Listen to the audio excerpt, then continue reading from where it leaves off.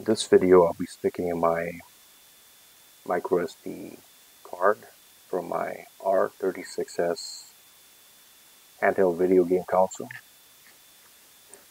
and I'll try to put some ROMs into some of the folders.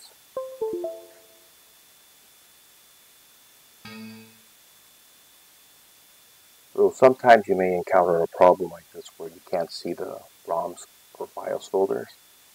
You could remedy this by going to computer management. Like that. Go to storage. Go to disk management.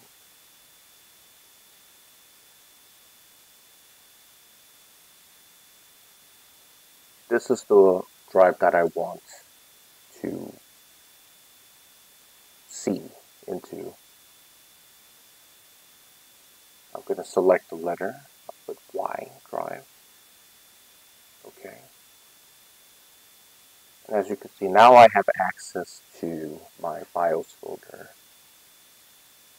and the systems folder as well, the boot folder. So I can put my ROMs, ROMs in here in each of these individual folders. I can put all my BIOS files into this folder, and that's how you get uh, the, BIOS, uh, ROMs and BIOS folder to be visible.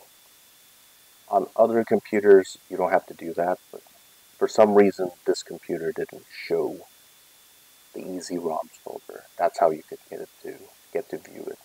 Thanks for watching.